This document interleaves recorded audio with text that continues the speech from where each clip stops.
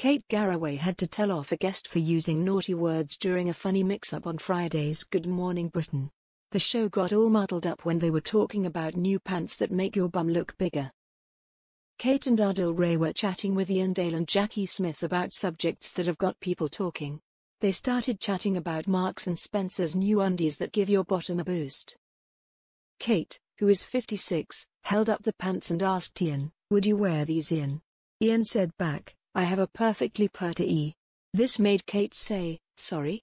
And Iain said it again. Kate quickly said, Don't say that word. And Adil told him, You've said it twice.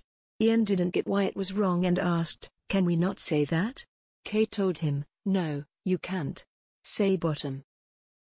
At the start, Kate showed everyone the special pants and joked, It's Friday, who doesn't want a padded bottom on their screens, first thing in the morning. Kate laughed and said about the pants, I think this bottom looks quite small. She then shared that she would try them on later in the show. Kate excitedly announced, I'm going to give it a go. I don't feel I need padding but I'm happy to give it a go for the purposes of this show. True to her word, later in the show, Kate put on the padded pants over her outfit. She exclaimed, I can't believe this. And also mentioned, I tell you what, it's super comfy. I might keep this on. The GMB team also shared a poll result where 84% of viewers thought we should just embrace the bodies we have.